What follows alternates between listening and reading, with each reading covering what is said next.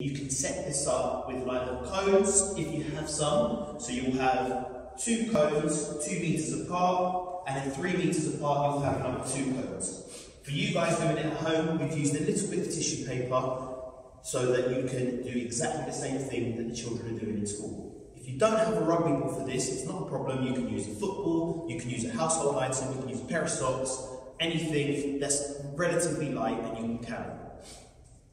So for this exercise, you'll start at the first cone, cone one. You will run as fast as you can to cone two.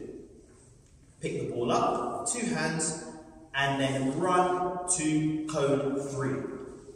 Once you arrive at cone three, you can put the ball down with two hands for two points, or you can put the ball down with one hand for three points.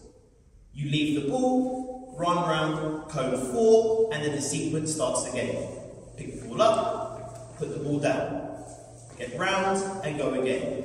Your partner will time you for 40 seconds and you will see how many points you can score in that time. Good luck.